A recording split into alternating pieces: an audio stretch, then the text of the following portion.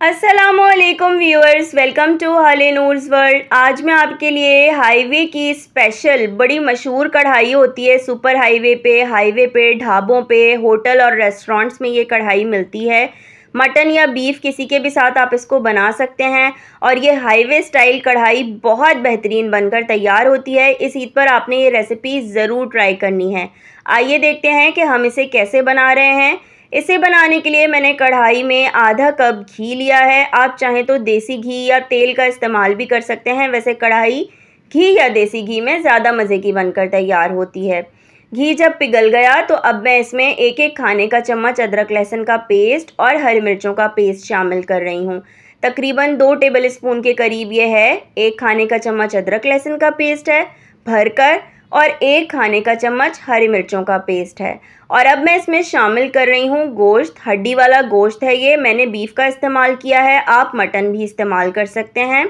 बस फिर ये है कि कुकिंग टाइम जो है वो थोड़ा सा रिड्यूस हो जाता है अगर आप मटन इस्तेमाल कर रहे हैं। आधे से पौन घंटे का फ़र्क आ जाता है। गोश्त को आपने अदरक, लहसुन के पेस्ट और हरी मिर्चों के पेस्ट के साथ बहुत अच्छे तरीके से भूनना है। ताकि इसकी स्मेल जो होती है, इसकी जो एक हीक होती है, वो बिल्कुल ख़त्म हो जाए। जैसे ही गोश्त अपना कलर चेंज कर ले और इसकी अच्छे से भुनाई हो जाए, तकरीबन पाँच मिनट इसको ज़रूर भूनिएगा। मैंने भी इसको अच्छे तरीके से भून लिया है, आँच तेज़ करके तकरीबन पाँच मिनट। देख सकते हैं आप, और अब गोश्त ने अपना कलर जो है, वो बिल्कुल चेंज कर लिया है। तो अब मैं इसमें टमाटर रखूँगी। आठ छोटे छोटे टमाटर मैंने बीच में से दो टुकड़े कट करके जो है वो इसमें रखना शुरू कर दिए हैं। अगर बड़े साइज़ के टमाटर हैं तो चार से पाँच बहुत होंगे। मेरे टमाटर काफ़ी ज़्यादा छोटे थे तो इसलिए मैंने आठ टमाटरों का इस्तेमाल किया है। ठीक है? टमाटर रखने के बाद आपने कुछ भी नहीं करना, बस आपने इसको कवर करना है और मीडियम टू लो फ्लेम पर 10 से 15 मिनट के लिए छोड़ देना है। 15 मिनट हो चुके हैं।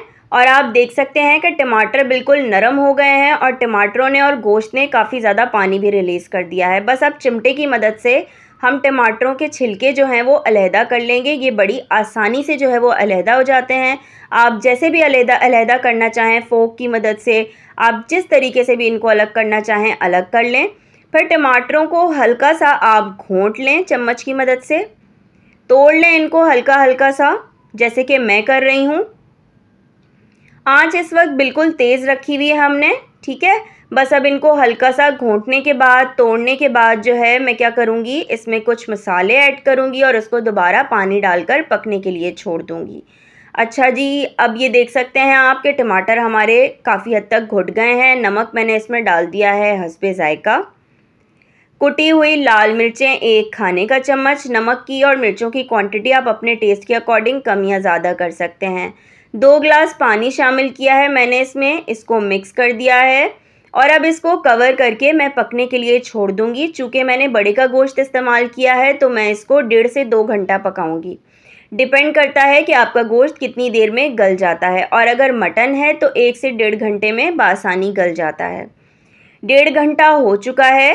और गोश्त में अभी भी थोड़ा थोड़ा सा पानी मौजूद है। बस अब इस स्टेज पे मैंने इसमें 150 ग्राम दही शामिल किया है फेंट कर कढ़ाई अमूमन जब हम बाहर जाकर खाते हैं ना तो काफ़ी सारे लोगों को ये शिकायत होती है कि कढ़ाई में मसाला नहीं होता, ग्रेवी नहीं होती। बहुत सूखी सूखी सी ड्राई ड्राई कढ़ाई होती है और मसाला लिपटा हुआ होता है।